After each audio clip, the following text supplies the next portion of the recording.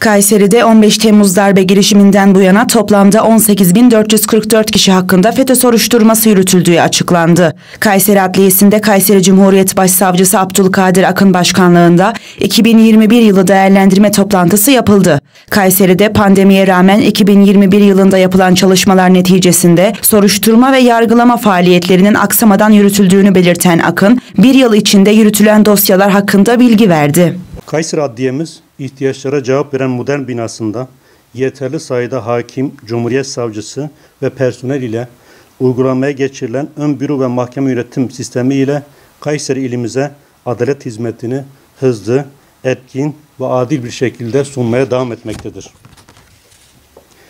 Uzmanlaşma gerektiren bir kısım suçlara ilişkin Cumhuriyet Başsavcılığımız bünyesinde kurulan aile içi şiddet, çocuk ve cinsel istismar, bilişim, anayasal suçlar, uyuşturucu ticareti, kaçakçılık ve organize örgütlü suçlar, sahtecilik ve dolandırıcılık, uzlaşma, memur, seri muhakeme, müracaat, vergi ve askeri suçları da kapsayan özel suçlar büroları görev alanlarına giren soruşturmaları etkin ve verimli bir şekilde yürütmektedirler.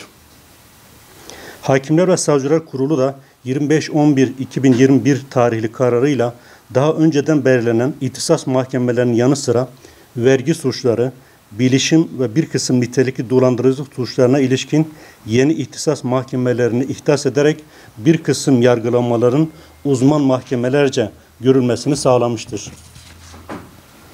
Alınan tedbirler ve meslektaşlarımızın üstün gayretleriyle pandemi, soruşturma ve yargılama faaliyetlerimizi aksatmamış, soruşturmaya başlandığında veya dava açıldığında tarafların yargılamanın ne zaman tamamlanacağını bilmelerini sağlamak amacıyla 2019 itibariyle faaliyete geçirilen yargıda hedef süre uygulamasında 2021 yılında Cumhuriyet Başsavcılığımızın %95, ceza hukuk mahkemelerimizin ise %89 oranında hedef sürelere uyduklarını memnuniyetle görüyoruz.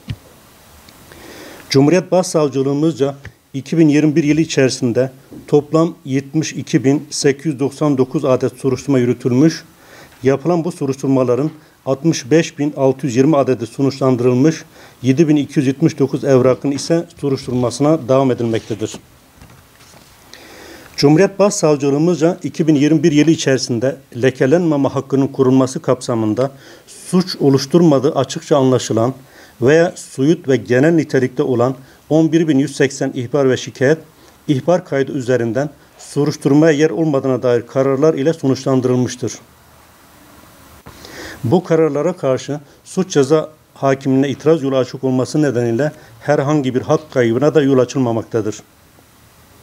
Cumhuriyet Başsavcılığımızca 15 Temmuz hain darbe girişiminden bu yana 18.444 şüpheli hakkında FETÖ üyeliği suçundan soruşturma yürütülmüştür.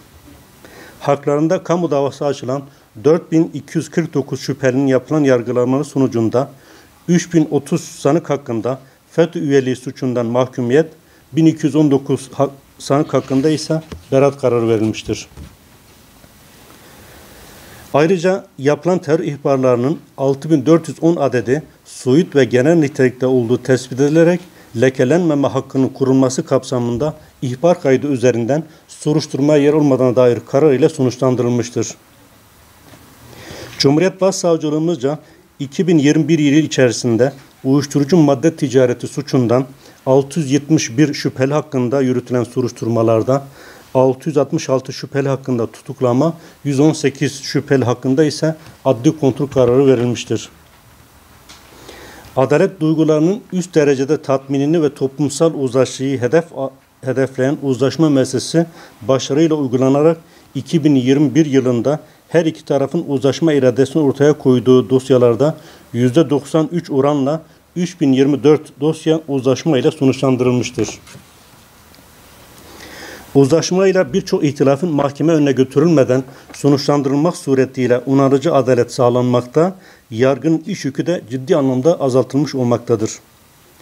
Uzlaşma ile mağdurların zararları karşılandığı gibi bir kısım dosyalarda da mağdurların talepleri doğrultusunda suç işleyen kişiler tarafından ihtiyaç sahibi öğrencilere giysi yardımı, huzur evinde kalanlara maddi destekte bulunulması, Mehmetçik ve Lüsev gibi vakıflara bağışta bulunulması, fidan dikilmesi gibi toplum yararına edimler de yerine getirilmiştir.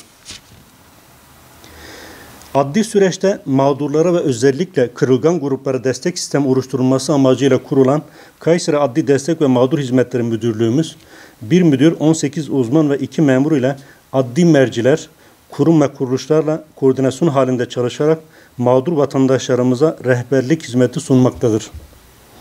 Mağdur vatandaşlarımıza müdürlük suç mağdurlarının ve dezavantajlı grupta bulunan çocukların, kadınların, yaşlı ve engelli bireylerin kendilerini rahat ifade edebilmelerini ve psikososyal destek verilmesini sağlamak suretiyle aktif bir görev ifade etmektedir. Bugüne kadar 6066 kişiye adli yardım, adli destek verilmiştir.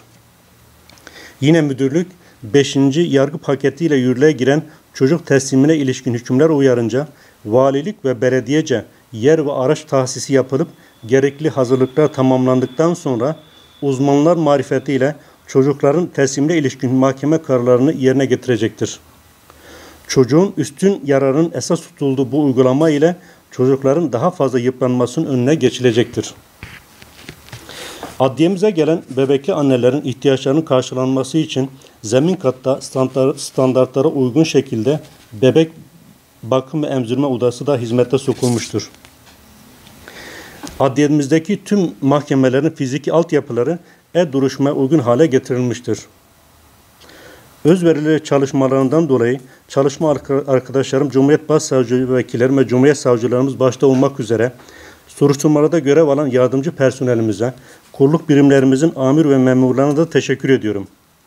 Kamu vicdanını tatmin eden adil kararların verildiği bir yıl olması temennisiyle katılımlarınızdan dolayı hepinize teşekkür eder, saygılar sunarım.